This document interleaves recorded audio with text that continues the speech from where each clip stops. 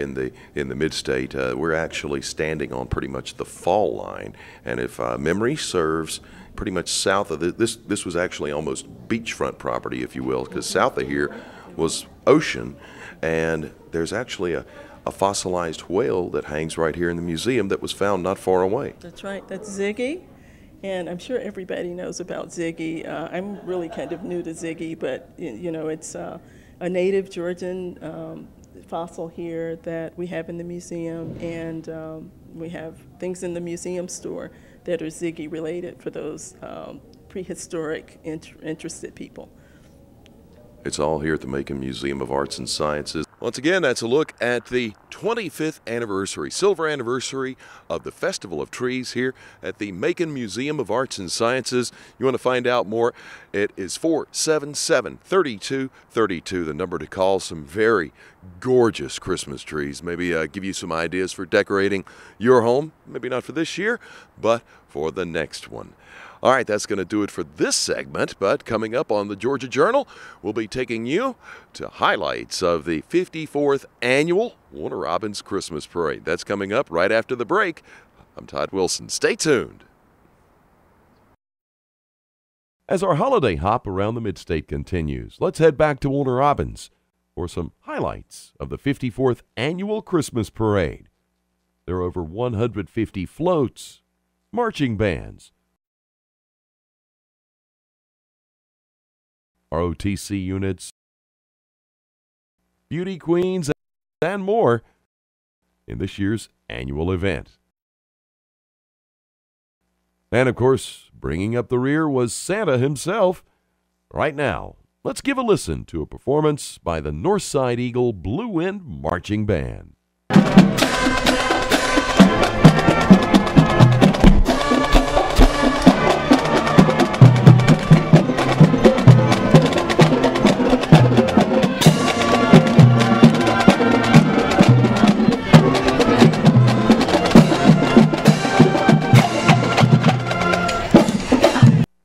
For the years, especially during football season. Of course, always a staple at the annual Warner Robins Christmas Parade. We head back to Perry now for a stage celebration of the season. Perry Players Community Theater, who, by the way, are celebrating their 30th season, had another Christmas offering, Christmas Belles. The comedy set in Fayro, Texas. And audiences got a chance to see not only Santa, but Elvis as well in this humorous look at planning and then performing a holiday pageant. You know, maybe Mama just needs a little nappy poo. What Mommy needs is to get these babies born so she can be a normal-sized human being again. Yesterday, I was at the store, and a woman asked if I knew where the petite department was. I said, do I look like I know where the petite department is? I am sick of being supersized, Dub Dubberly. You hear me? I'm sick of it. You know, maybe we need to talk about something else. Now, why don't you tell Santa what you want for Christmas? Fine. I want Santa to get a vasectomy. Oh, no, no, no, no, no. Hell no. There's not enough milk and cookies in the world for Santa to ever consider doing that. You asked what I want, so, so, so gift wrap that and stick it under the tree because Mrs. Claus is not going to have another surprise like this again.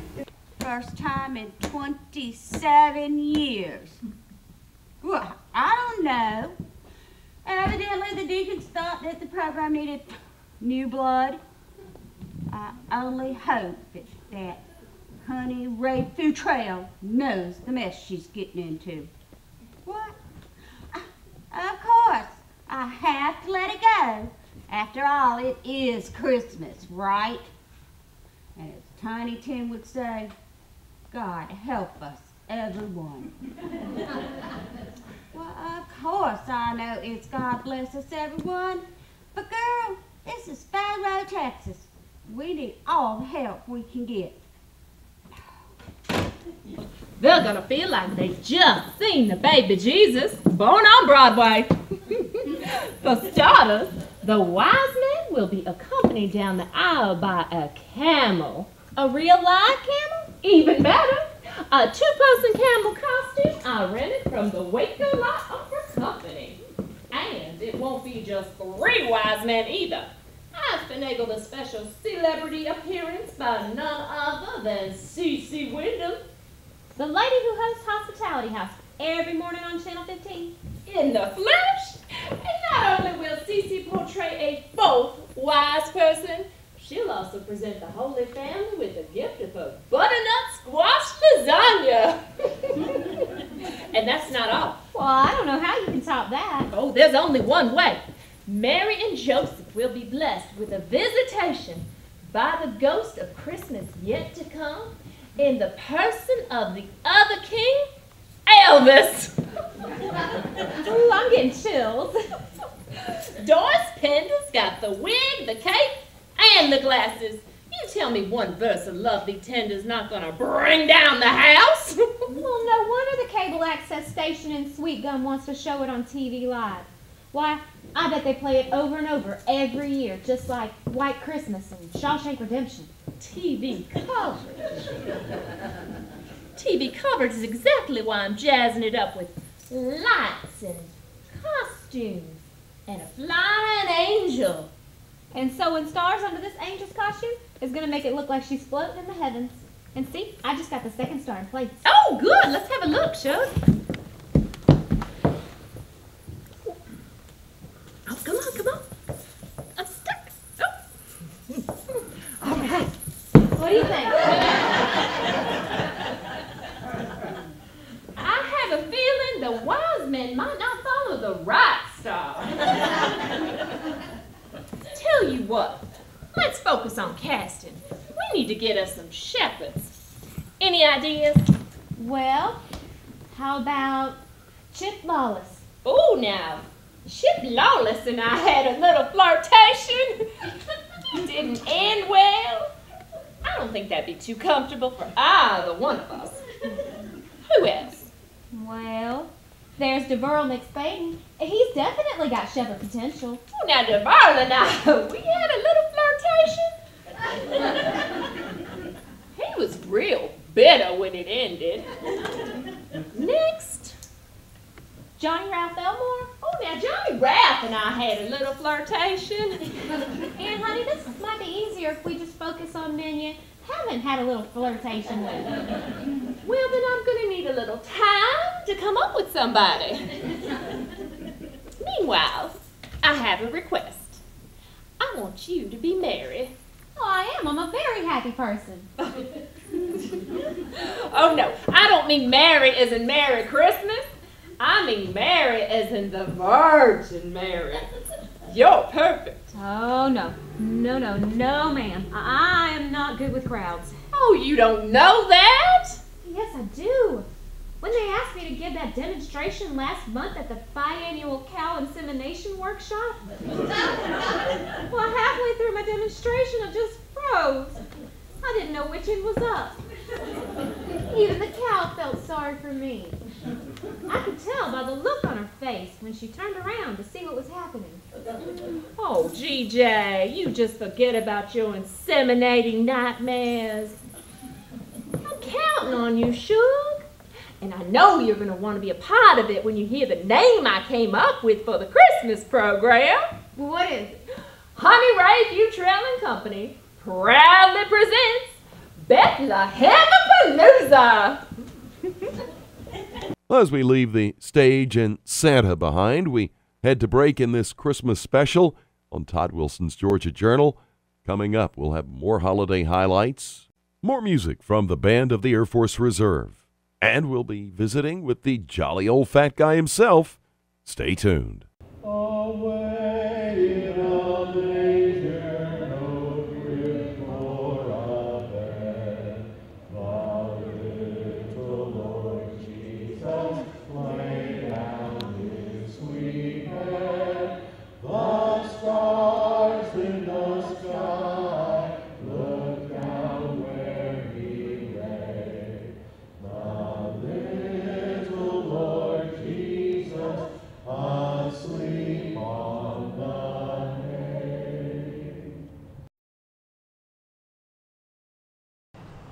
We welcome you back to this holiday special edition of Todd Wilson's Georgia Journal. Merry Christmas, Happy New Year. As we continue on, we're going to take you inside this palatial Italian Renaissance mansion known as the Hay House here in Macon, Georgia. It's all decked out for the holidays, and it is an exquisite representation of architectural styling from over 100 years ago. And it's decorated just for the season. Hay House was constructed in 1859 and was built by William Butler Johnston, who was a local entrepreneur and businessman. It is in the Italian Renaissance style of architecture and is considered to be one of the foremost examples of that in the United States in terms of not only architectural stylings, but the technological sophistication of the house. Uh, for instance, it had hot and cold running water, a speaker tube system, gas lighting, and coal burning fireplaces well before that was very commonplace in this area and throughout the nation. This year we are decorating our for our Home for the Holidays tours. And what we are doing this year is trying to showcase the season as it would have appeared for the various families that resided in the building. Uh, this is done through a lot of lavish uh, floral arrangements, beautifully decorated Christmas trees as you see behind me here, and just showing different seasonal interpretations from the mid 19th century all the way up into the 20th century. So truly something for everyone to see. Now, the tree decorated as it is with the electric candles. Back in the oh, 100 years ago, they would have been regular candles. Indeed, right? and usually Christmas trees would have gone up on Christmas Day. Uh, what would have been the tradition for that is that Christmas trees started coming into the forefront of the United States in the mid 1850s, uh, early 1850s, excuse me. Uh, would have been put up Christmas Eve and taken down immediately Christmas Day because with open flames on a tree, it could give a whole new definition to the word Yule log. So uh, we try to protect that as much as possible and simulate that to keep the fire marshal happy here. The P.L. Hay House became a National Historic Landmark back in 1974. It was built between 1855 and 1859, so this marks its 153rd Christmas. Originally built by wealthy businessman William Johnston, the home is almost a work of art in itself. The home is expansive, covering over 16,000 square feet, featuring 24 principal rooms. The home has been a residence for the Johnston family, the Felton family, and finally the Hay family before it became a unit of the Georgia Trust for Historic Preservation back in 1977. Now, since then, the Trust has been working diligently to restore what was once known as the Palace of the South. Hay House is still undergoing an active restoration campaign as we are continuing to uh, evaluate uh, and bring a proper interpretation to the periods that we are invoking here in the house. We interpret all three of the families that lived here in the building, from the Johnston families from the mid 1850s to the late 19th century, uh, the Felton family from the late 19th century to the early 1920s, and then the Hay family from the 1920s uh, forward into the 1960s. So, truly, someone that comes to Hay House will see a time capsule of the various periods that these families lived here. Do you know the exact cost of the home when it was built? $104,000. 104,000. And to put that in perspective, the average Greek revival mansion, your stereotypical Gone with the Wind type of house would have been about between 10 and 14,000. The governor's mansion in Milledgeville that was built in 1839 cost $50,000 to construct. This house cost $104,000 in 1859. So this was among the elite of the elite in terms of architecture built in antebellum America. And that would translate into the millions. Hundreds now. of millions actually today. And just the the attention to detail and the craftsmanship that went into making the archways and these beautiful ceilings. I mean, it's it's a lost art. You know, it's surprising that in a way it would seem it's a lost art, but there are still many conservators, craftsmen, and plaster specialists that can replicate and repair. Uh, as we go through our restoration process, there's pieces of the plaster that will take cast from molds and repair little bits that have been lost over the years. So it is something that is still there, though not as nearly as commonplace as it once was. As homes today are kind of manufactured in a cookie cutter fashion, where craftsmen really individually design homes for particular contracts at this time. The annual holiday decorations only add to the remarkable craftsmanship that went into building this home. The trees and other holiday events were made possible by funding from the Medical Center of Central Georgia and by the Bank of America Corporation. Now, beyond tours during the holiday season, this classic home also hosts special events year round. We do have a very active uh, rental program here, and we open up for weddings, parties, receptions, and we encourage folks to contact us if uh, we can meet your needs in some way in that respect. Any special mementos or maybe decorations of Christmases past that actually resurface this time of year? One of the things that you will always see in the reception room of the house, the Hay family traditionally put what was called a flocked tree in there, which is one of those Christmas trees that was covered in the fake snow, and we always bring that tradition back here on a yearly basis. And finally, uh, the uh, Christmas decorations, how long will you have the house decorated this year? We are going to run our Christmas decorations through New Year's Eve. The only day that we'll be closed in December is Christmas Day itself. So if you're looking for a chance to come out and experience the holidays in such a beautiful historic site or a place to bring family or guests from out of town, we'd love to have you. And uh, folks want information. Uh, please contact us by calling 742 8155 or on the web at www.hayhouse.org. I urge you, if you happen to live in the mid-state and haven't taken time out to see this beautiful Italian Renaissance home, the PL Hay House here in Macon, do so. It is well worth the trip, whether you see it decked out for Christmas or just any other time of year. It's a beautiful example of craftsmanship and architecture the way things used to be. Hope you're enjoying this holiday edition of Todd Wilson's Georgia Journal as we continue on with more holiday fare right after this here on TV 38. Stay with us. Welcome back to Todd Wilson's Georgia Journal and our holiday special. Keeping with the season, though, let's head back to the Museum of Aviation for more holiday cheer from the band of the Air Force Reserve.